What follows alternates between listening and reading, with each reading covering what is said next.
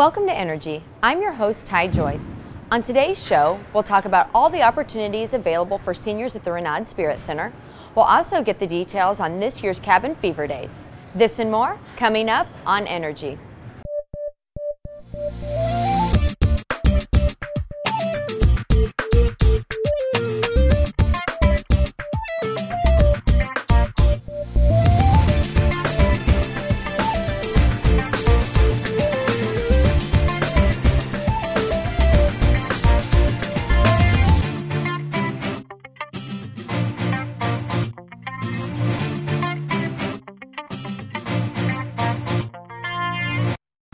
Welcome back. First up on today's show is a look at the newest addition in Fort Zumwalt Park.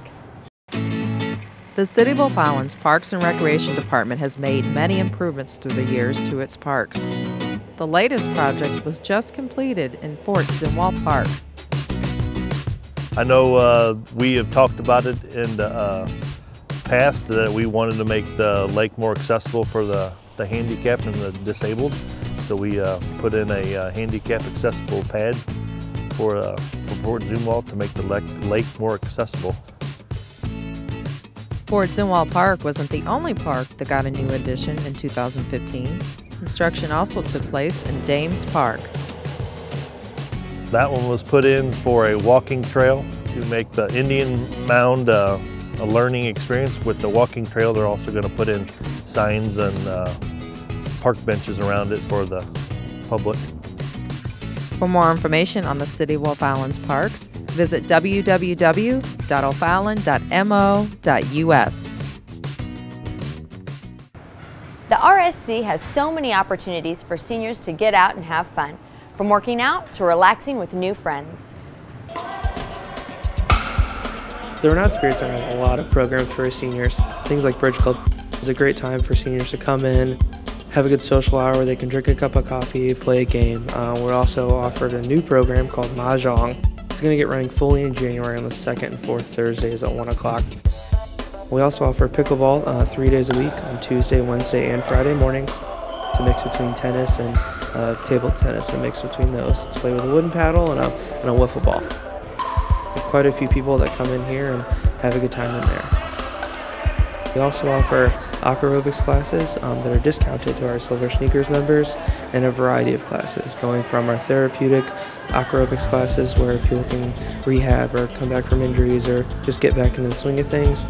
We have a lot of physical fitness classes for our seniors, such as the senior Tai Chi with movements class, um, senior weights and toning, and a variety of fitness classes we also have a walking program that's going to start again in January. Um, it's a performance based, so um, each increment or mileage that you hit or steps that uh, you make, you get a prize. Um, each participant gets a folder with different workouts and a packet to start and a pedometer as well to check all your movements.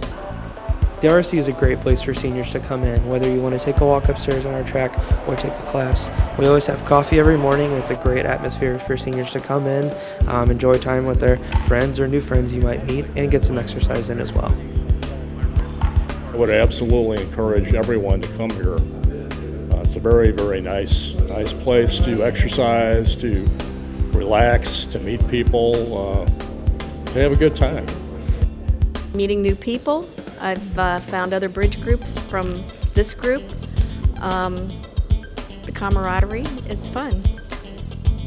You don't have to be a member at the RSC. We do offer a one time charge um, or a free trial week if you've never taken advantage of that before. For more information, contact the RSC front desk at 636 474 2732 or visit our website at renaudspiritcenter.com. Now we turn to this month's Employee Spotlight featuring Cindy Springer. Here's more on Cindy and her position with the city. Cindy Springer started her career with the City of O'Fallon in 1984, working in recreation. From there, she became assistant director, then briefly left the Parks and Recreation Department to work in safety and risk management. In 2005, she made her way back to Parks and Recreation, where she now oversees the department. I am the Director of Parks and Recreation for the City of O'Fallon, so I manage the day-to-day -day and long-term aspects of all of our city parks, all of the recreation programming, the Renaud Spirit Center, the Landscape Division, and festivals and tourism. Parks and Recreation is a very rewarding uh, career field because you get to see people enjoying what, what you've brought to them. So not only in the parks that you provide, you see them out there having a good time, but in the programs that you offer or the festivals and events, you see the people coming out and truly enjoying something that you had a hand at putting together. The City of O'Fallon offers so many great events for its residents. From the Heritage and Freedom Festival, that has become one of the biggest 4th of July celebrations in the area, to other great events such as the Fall Festival, O'Fallon Jammin', Food Truck Frenzy, and the list goes on. While Cindy is proud to be a part of the many amazing events in O'Fallon, there is one in particular that stands out. Probably one of the best things I ever did was Celebration of Lights. That, that was challenging to say the least. The Parks and Recreation Board at that time, the chairperson, was really adamant we should try it. Yeah, I wasn't so sure about that, but it has proven to be a very successful event for the city. Working for the City of O'Fallon's Parks and Recreation Department, Cindy has experienced a lot of changes. Changes that have improved O'Fallon's parks. O'Fallon has probably one of the best park and recreation districts in the area. Um, I think, you know, size-wise, O'Fallon's second only to the city of St. Louis. We, we may not have the acreage of parks that a lot of municipalities have, but I think what we offer within the parks that we have and the quality of the fields and the amenities that we have within our parks, I would put up against any in the area. I think great staff provides a great product. The growth in the city's parks is not complete. There is still one project that is in the works that Cindy is pretty excited about. I think what will be my, my best and my favorite will be O'Day Park when we get it up and running, but until that time, probably um, the lake and Fort Zumwalt Park and just some of the passive um, amenities that we've added there. While many changes have taken place in O'Fallon, one thing still remains. Even though O'Fallon's grown, it still has an area or even elements of every event that are very kind of hometown, and that's a good thing. I can truly say that I've enjoyed working for the city. There's been ups and downs along the way, but um, the city's always been good to me, and I really think they do appreciate what Parks and Recreation provides. And I think now that we're starting to catch up on some of the other infrastructure that you'll see a little more attention being given to the needed parks and recreation opportunities for our residents. Cure those winter blues by getting out and enjoying some winter activities with the family. Joining us now is Jennifer Hoisington with a look at this year's Cabin Fever Daze. O'Fallon's Cabin Fever Daze is a great time for everyone, with plenty of activities for the whole family to enjoy. We are going to have a uh, $5 fee where you can stay and play all day. And with that $5 fee, you get to play in the human hamster ball, human foosball. You also get to play 18 holes of miniature golf and laser tag. Other attractions returning this year are Spirit of St. Louis RC Flying Club and the Gateway Dog Sled Club. They do demonstrations on how they actually do the dog sled races throughout the day, and um, the handlers are there also to answer any sort of questions. The fun doesn't end there. There is still plenty to see and do at this year's Cabin Fever Daze. We will have entertainment there as well as a heat relief tent. There will be uh, festival style food there as well. We also have some free events that will take place that day that once again is hands-on and people would be moving uh, during the winter weather. So those items would be like tug of war, volleyball, we have broom ball once again, which is always very popular, and of course um, the snowflake toss. Cabin Fever Daze is quickly becoming a fan favorite. The event last year really started gaining in its popularity. We had a lot of people out there um, participating. It's hands-on activities, it keeps people moving, and when you're moving, you're staying warm and getting out of the winter blues. Cabin Fever Daze will take place on Saturday and Sunday, January 30th and 31st from 11 a.m. to 4 p.m. Admission and parking are free. For more details, visit www.o'fallon.mo.us. Another great year is planned for the O'Fallon Cultural Arts Department. Here's Darren with a look at what's coming up. O'Fallon's Parks and Recreation Department oversees some of the premier parks destinations within the greater St. Louis area. Besides tending to acres of beautiful parkland and developing dozens of family friendly programs, the Parks and Rec Department has also put a special emphasis on fostering our community's visual and performing arts. Thousands of musicians, actors, dancers, and artists have come together through the years to be a part of our cultural arts programming, and we have a lot of exciting programs coming up to kick off this new year. Well, the big thing we've got coming up in March is going to be our play, which is Noises Off. Uh, we did it once before in 2003 and uh, we decided to take another stab at it. So technically we've been working on it right now. We just had auditions, had over 30 people audition for nine parts. All new cast, all new people, and we've got some old standbys that are coming in too. Uh, we're going to be running rehearsals and building the two-story set, and the play is going to run uh, the first two weekends in March. And so you can check out the Parks and Rec website on that for all the details.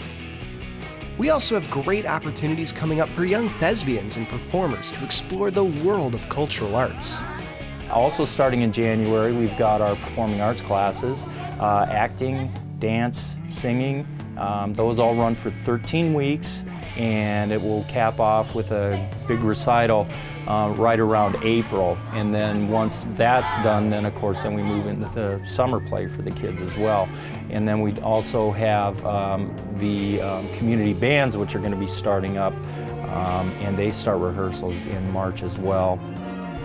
The Cultural Arts Gallery puts fresh, local art on the walls of the Renaud Spirit Center year round, and we have two can't miss exhibitions coming up. Exhibit-wise, we've got the O'Fallon Photo Club and then uh, the Oakleaf Artists Guild. O'Fallon Photo Club will run until March and then the Oakleaf Artists Guild will run until April. So we got a lot going on the first, first part of the year. We're starting to kick back up. Our Parks and Rec department offers cultural arts programs and opportunities throughout the year, and there's always something fun for families to take part in. To get more info, you can head to the Parks and Recreation website You'll find plenty of information about upcoming programs and exhibits, and you can sign up for programs online too. Are you ready to jumpstart your workout routine? The Renaud Spirit Center is a great place to start. O'Fallon's Renaud Spirit Center offers a 6,200 square foot fitness facility that includes an indoor track, 43 cardiovascular machines, including treadmills, elliptical machines, stair climbers, bikes, and more. Personal trainers are also on hand to help kickstart your workout routine. When it comes to aerobics, the RSC offers a wide range of classes that include step aerobics, Zumba, body sculpting, specialty classes such as boot camp, yoga, cycling, and more. For a more detailed list of fitness opportunities being offered at the Renaud Spirit Center, visit www.renaudspiritcenter.com. It's time to check in with this week's calendar of events. Join us in celebrating Dr. Seuss Day a little bit early. We'll make a smile with the cat in the hat, dance around with the fox and socks, hear a who with Horton, count redfish and bluefish, help the Grinch see the error of his ways, and listen to Sam I Am's friend complain about green eggs and ham. Registration includes story time, activities, crafts, and a Dr. Seuss style snack. It all takes place on Wednesday, March 2nd from 9:30 to 11 a.m. at the Renaud Spirit Center. Cost is $10 for residents and $12 for non residents.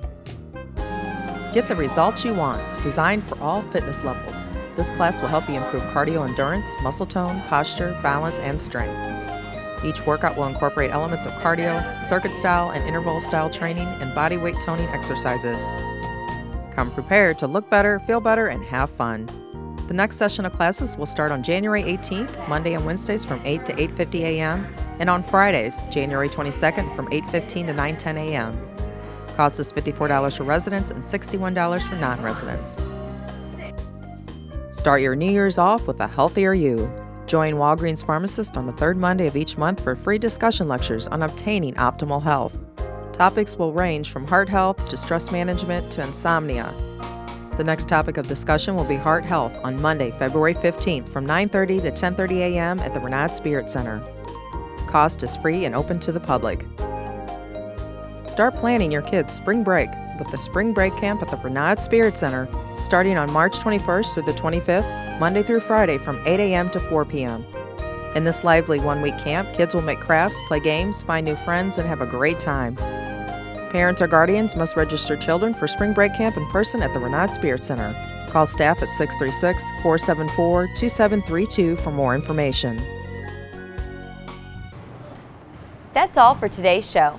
Thanks for joining us, and we'll see you next time on Energy.